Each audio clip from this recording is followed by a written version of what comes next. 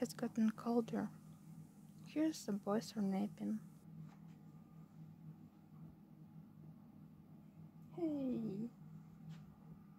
They've climbed the couch for their cozy naps, looking so precious.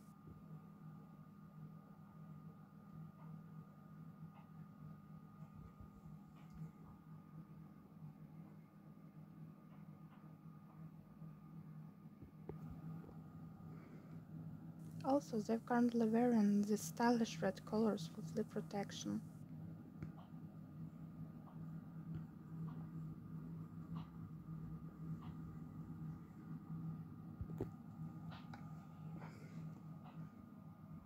Just wanted to share these cute changes with you all. Stay tuned for further updates.